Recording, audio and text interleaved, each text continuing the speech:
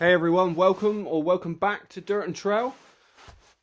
So you may have just bought your brand new CRF 300L for around the £5,000 mark and have some changes to some change to consider upgrades and customise it to your needs. Or you may be scratching waiting for your bike to be delivered looking at possible modifications.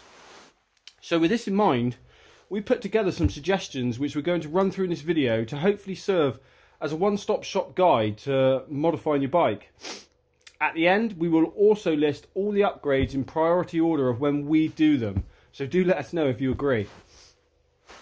Okay, to get straight into it, we're going to go through the potential mods from front to the back of the bike, generally speaking. So first on the list is a screen protector. For the sake of a few quid and to protect that TFT screen, we think it's a really good idea. Uh, in the absence of a, a 300L specific one, we fitted one for a CB125 or a CBR 300. It's not perfect, but once fitted, it's fine and you don't notice it. So working backwards from there, we've got uh, braided brake lines. HEL or Venhill are quality options and would hopefully improve the, the feel, uh, which is always positive, and would also be a way to move the front brake hose out the way of the TFT screen if it bothered you that much. Uh, double take mirrors would be next. They would be really useful, especially on those single tracks and fire roads. Plenty of options available on the market. Then we would come to bars as our next modification. We've grouped these together with as bars, risers, grips and handguards. So if you didn't know, the standard bars are prone to bending. It's personal choice, but for us we think a rise is needed. I'm six foot with long legs, Andy's five foot eight with short arms, and we both agree. So we'll be opting for a fat bar, probably Pro Taper or Renthal. The industry seems to go for the CR high bend with few complaints. Quick mention of heated grips here, now would be a good time to install if you are changing. Few choices of handguards, two point mounts, which are stronger and what most people go for, or the single point mounts you find on motocross stroke enduro bikes. So next is radiator braces. Some consider these essential. Uh, radiators can be soft and there's no fixing a leak when you're out and about. There is only a radiator on the right side as you look at it. Uh, the other side would be cosmetic uh, with water, reservoir and horn. Next would be frame guards. So this may seem like a small mod, but we definitely suggest it as soon as possible, especially if you're buying the bike new. Doesn't take long to start rubbing parts off the frame and other areas, which is easily avoidable by just buying frame guards from the beginning. Hopefully Acerbis or similar will have some available soon. Uh, in the meantime, there are some metal options, uh, even zip tying parts of it in an inner tube will stop any wear as an interim measure. Something to bear in mind here, generally speaking, the more motocross orientated your boots, the more likely the wear. So next will be bash plate pretty self-explanatory. Not going to go into this too much, uh, except say that the 250L one won't fit without some jiggery pokery. So we are looking into some options um, that cover all the important areas, including the water pump. Some are becoming available. Bike-a-Bit, based in Thailand, have one available, but only between the frame and AdTek, A-D-T-E-K, now also have one available that covers everything and looks good, which you can see here. Next is the suspension. Yes, the suspension is soft, but if you have watched our videos, you'll see the types of trails we've ridden so far, which it has dealt with really well. So, however, this is about upgrades. So we're currently working with some companies on suspension options uh, from budget to the best quality. So we have little information at the moment, but we will post a full review when able to bring you some more info. And we're really excited about this and can't wait to get this video out for everyone. In the meantime, YSS have a shock available currently, uh, and I believe Hagon have just released one as well, both around the 350 to 400 mark. Next would be the exhaust. So there are a few options on the market currently, uh, but sure that will change soon. One thing we would say if we were looking to change the exhaust, other than the looks, uh, is that we would definitely want it to keep or possibly improve the torque instead of making it faster at the top end or to rev out more.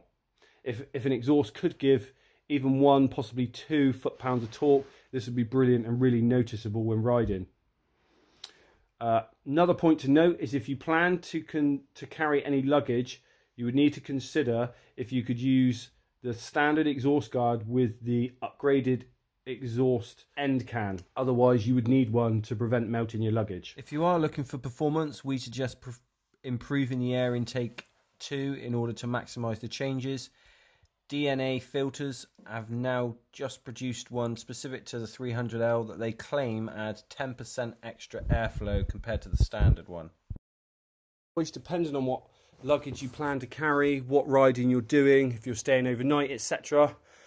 Uh, there are lots of luggage options, and I'm sure um, lots will become available. But we're looking into some rack and luggage combina- combinations, so we'll let you know as soon as, as soon as we get those. BikerBitz now have a rack available.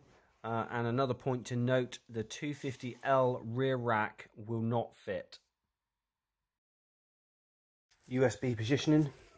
This may not seem like a modification, um, as normal USB mounts will be installed on the bars, but we've found that utilising the toolbox or the space behind it will be more effective as it will keep the water and the dirt out. Again, we'll do a review so you can see how well this has gone or not. Uh, general protection, fork shrink for the fork legs, front leg, front brake protector, uh, and clear film for plastics and graphics could be uh, something to consider to keep the bike as clean and mint as possible.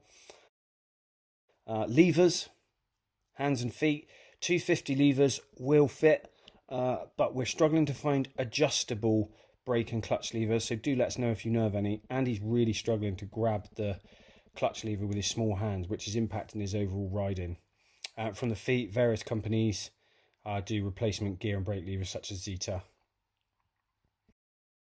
Onto tyres, again, depending on your riding circumstances, will dictate tyre choices, and we won't go into the di different options, but do let us know how you get on.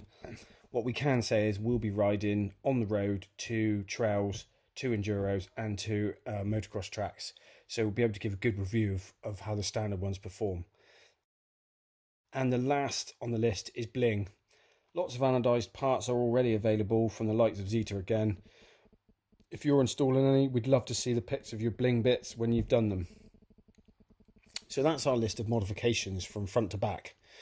We said at the beginning of the video we'd list these mods in order of importance for us and when we do them, which has actually turned out to be much harder than we thought, and we didn't agree.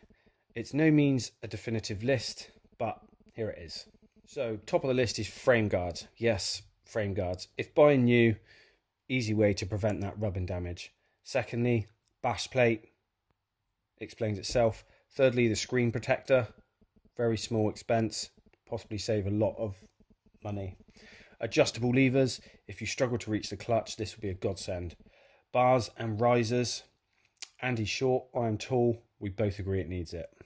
Suspension, not the top of list because for many it will serve just fine, um, but certainly an area to improve on if you were looking at suspend uh, upgrade options. Then we've got the rear rack, rear rack and luggage options, rad braces, double take mirrors, general protection, the fork shrink guards, film, etc. Then tires, uh, braided hoses, especially if you wanted that front hose out the way of the TFT screen, gearing, exhaust. Yes, you may be surprised to hear the exhaust so far down the list, but we think standard works just fine. And then finally, the USB positioning and the bling bits. So that's a really quick overview of the mods to consider. We hope it's inspired you to look into some of these options and customize your 300 to suit you. We will be adding many of the modifications listed here and be reviewing them, so do stay tuned for updates. Thanks for all the comments on all our videos. If there's anything you'd like us to cover, do let us know. Thanks for watching. Safe riding.